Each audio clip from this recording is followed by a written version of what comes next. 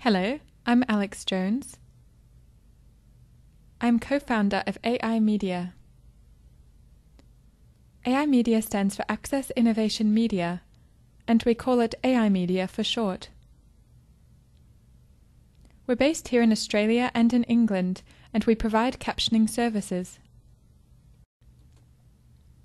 Lately, I've been immersed in the discussions held in America about various topics, including deafhood, valuing American Sign Language, audism, and not having internalized audism, and in this context, being confident and proud of who you are. For me, I'm proud of who I am, that is, being deaf. I have my own deaf culture and I cherish that in my heart. It has given me a feeling of pride, and I've gained valuable information and knowledge. It has been an enriching experience for me.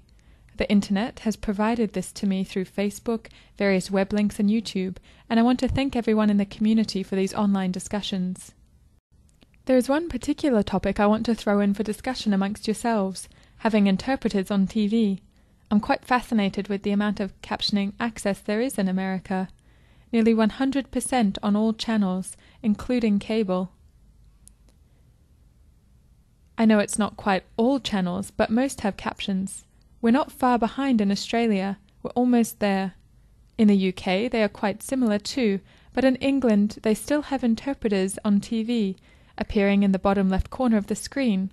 Not frequently, but mostly on news and current affairs programs. It is there for those who do not have great English literacy skills, so rely on interpreters to understand the program. I've wondered about this and whether deaf people in America would like to see this happening on your television as well. Do you want interpreters back on your TV like before? I'm aware there are many websites or deaf presenters who have their own news channel in ASL. It appears to be the best option, however, I'm curious because I know you want to preserve ASL. Do you feel there is a need to have interpreters back on TV or not?